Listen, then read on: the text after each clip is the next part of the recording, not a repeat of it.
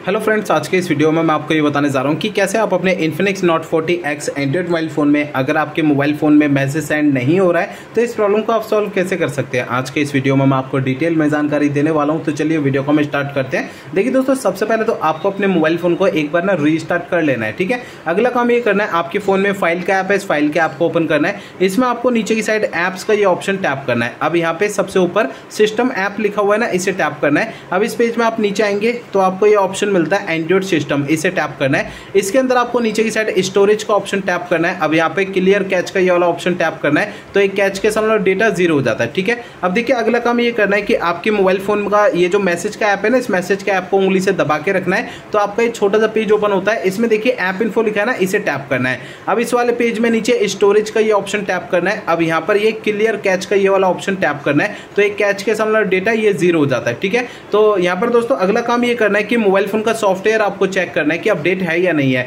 इसके लिए पहले फ़ोन का इंटरनेट चालू रखना है, इसके बाद फ़ोन का सेटिंग पेज ओपन करना है। इसमें आपको नीचे की साइड सिस्टम का ऑप्शन टैप करना है। अब यहाँ पे सिस्टम अपडेट का ऑप्शन टैप करना है। अब यहाँ पे आपको ऑनलाइन अपडेट का ये ऑप्शन टैप करना है। अब आपको है ना, इस वाले पेज पे कोई भी अपडेट का बटन या डाउनलोड, इंस्टॉल अगर यहाँ पे लिखा हुआ दिखाई देता है तो उसे आपको टैप करके फ़ोन का सॉफ्टवेयर अपडेट करना है, ठीक है? अब देखिए, अगला काम ये करना है कि मोबाइल फ़ोन को रीसेट करना है। देखिए, मोबाइल फ़ोन को रीसेट आपको तब करना है जब मेरे बताए हुए पिछले प्रोसेस कोई भी काम नहीं करते हैं, तब आपको फ़ोन को रीसेट करना है अदरवाइज़ नहीं करना है। फ़ोन को रीसेट करने के लिए फ़ोन का सेटिंग पेज ओपन करिए। इसमें आपको नीचे की साइड है सिस्टम पे टैप करना है। इसके अंदर ये रीसेट ऑप्शन टैप करना है। अब यहाँ पर ये erase all data factory reset पे आप टैप करेंगे तो इससे आपका फ़ोन रीसेट हो जाएगा और आपकी प्रॉब्लम सॉल्व हो जाएगी। लेकिन फ़ोन को रीसेट करने से पहले दो बातों का ध्यान रखना है। पहली बात ये ध्यान रखनी है आपके मोबाइल फ़ोन का जो डेटा है, उसका बैकअप ले लीजिए अपने फ़ोन में। और दूसरी बात ये ध्यान रखनी है आपके फ़ोन की जीमेल आईडी और उसका पासवर्ड आपको पहले से नोट करके रखना है। तो ये दो काम पहले करने हैं, उसके बाद फ़ोन को रिसेट करना है, ठीक है? तो मेरे बताए हुए तरीकों से आपकी प्रॉब्लम सॉल्व जो है हो जाएगी, ठीक है ना?